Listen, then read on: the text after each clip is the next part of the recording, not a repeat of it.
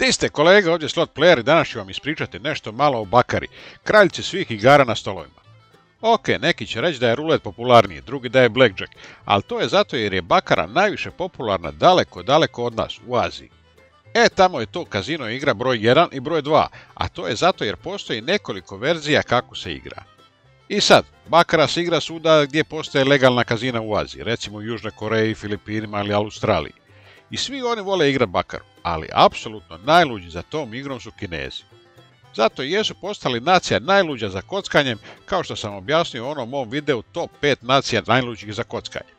Tamo sam isto usporedio koliko Vegas zaradi godišnje, a koliko Makao, pa da i to ponovim.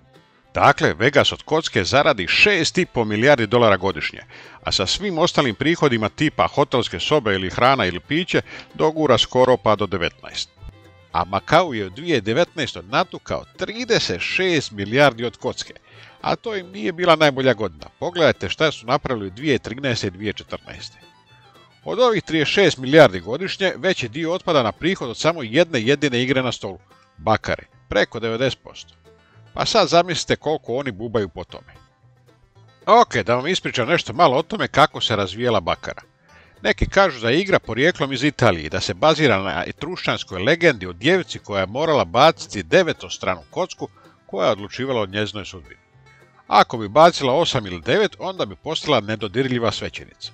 Ako bi bacila 6 ili 7, onda bi je ostavili u životu, ali ne bi mogla sudjelovati u religijskim svečanostima, a ako bi bacila išta ispod 6, e onda bi oni nju bacili u more da se utopi. Kao i ostale legende i ova je samo izmišljena priča, ali ima otprilike veze sa brojevima na Bakari, što ću objasniti poslije. U svakom slučaju, Bakara je postala super popularna među francuskom aristokracijom i ostalim parajlijama u 19. stoljeću.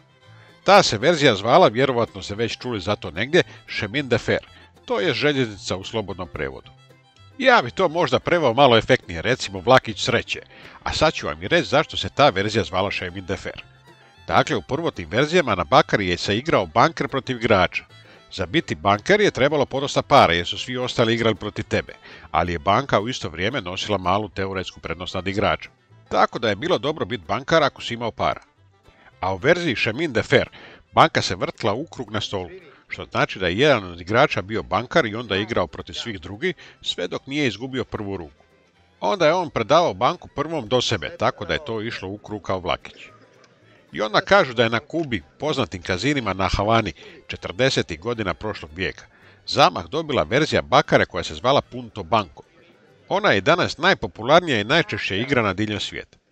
U njoj se karte dijele kao da igraju igrač protiv banke, ali bilo koji igrač na stolu se može kladiti da li će pobijediti igrač ili banka. U biti da bi bilo jednostavnije, možete zamisliti da su igrači banka kao crveno ili crno na ruletu, a igrači koji igraju na stolu se klade koja će boja izaći. Šanse su otprilike 50-50, ali to ću detalje obraditi u jednom sljedećem videa.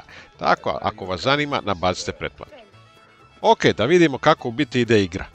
Diler koji vodi igru na početku ruke podijeli dvije karte za igrača i dvije za banku.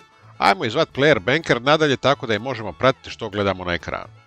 Svaka karta vrijedna onoliko koliko piše na njoj, a sve desetke i slike se računaju kao nula. Ako zbroj dvije karte prebacuje deset, onda se odbija prvi broj, to jest ona jedinica. Tako da ako izađu recimo zajedno sedmica i osmica, njihov zbroj je 15. Odbija se prva brojka tako da to ostavlja ukupno 5. Ako izađu devetka i trojka, to je 2 i tako dalje u tom stilu. Ok, i onda, ako je rezultat prve dvije karte 8 ili 9, onda je to takozvani natural. Igra se zaustavlja i dobija onaj koji je to dobio. Devetka je najjači zbroj, tako da ako jedan dobije 9, a drugi 8, onda dobija onaj sa devetkom. Ako nijedna strana nije dobila natural, to je osmicu ili devetku, prvi na potezu je player. On više neće vući karte ako ima zbroj 6 ili 7, a za sve manje će vući još jednu kartu. Recimo igrač ima 7 i 8, to je 15, odnosno 5. Na to vuče još jednu kartu i recimo dobije šesticu. 5 plus 6 je 11. Odbija se ona prva cifra tako da je na kraju ukupan zbroj za igrača 1. Nakon što igrač dobije treću kartu, red je na bankera. Banker će vući kartu ovisno o zbroju svoje prve dvije karte i kakva je bila treća karta igrača. Evo sad gledate tablicu što banker radi. Znači ako banker ima 0, 1 ili 2, vuče kartu bez obzira što je bila treća igračeva karta. Ako ima 3, onda će vući jedino ako je player dobio osmicu kao svoju treću kartu. Ako ima 4, onda će vući samo ako je igrač vukao 2, 3, 4, 5, 6 ili 7. Što znači da neće vući ako je player vukao 0, asa, osmicu ili 9. Sa zbrojem od 5 banker će vući ako igrač dobio kartu od 4 do 7, a sa zbrojem od 6 samo ako je treća karta bila 6 ili 7. Sa zbrojem od 7 banker neće nikada vući. I sad to sve izgleda prilično komplicirano, ali ja sam mojim dilerima uvijek objašnjavao da u biti treba samo zapamtiti tri broja. 427, 547 i 667. Što znači da na četvorku se vuče ako je karta od 2 do 7, na peticu ako je od 4 do 7 i na šesticu samo na 6 i 7. Sva ostala pravila su lagana za zapamtiti. Osim što izgleda komplicirano, na prvi pogled je to i prilično glupo, jer nema tu ono da igrač ili krupije odlučuje što i kako će se igrati. Sve ide automatski po već postavljenim pravilima, tako da je u biti čitav sabo već odlučen unaprijed ko će dobiti koju ruku. I to se ne može promijeniti. Ali stvar je u tome da se tijekom jedne ruke može u par puta promijeniti tko dobija, tko gubi. Recimo na početku player može imati 3, a banker 4. Onda player izvuče peticu ima 8, a banker na to dobije isto peticu za ukupno 9. Ti preokreti čine igru super napetom i uzbudljivom. Šta misliš, kladiš se dvije prosječne plaće na jednu ruku, uloviš osmicu iz prve i misliš gotovo, kada ono suparnik izvuče natural devetku. U biti ovo je toliko prekrasna igra da zaslužuje seriju videa u kojima ću vam objasniti kako se igra. U ovome prvome sam objasnio osnove, u sljedeću vam ispriča kolika je prednost kuće na bakari. Ona je prilično mala pa se zato igra za velike pare. Ako vas zanima, nabacite pretplatu. Društvo, ako igrate, onda igrajte pomalo i samo sa novcima koji si možete priuštiti da izgubite. Imate dolje u opisu videa link prema kazinu koji ja preporučam, pa ako ćete već igrati onda mi napravite uslugu i kliknite preko njega do kazina, a ne preko Google. Jer onda vaš slot player dobije nešto provizije, pa će onda moći raditi još zanimljivih videa, a Google i onako već ima para košuge.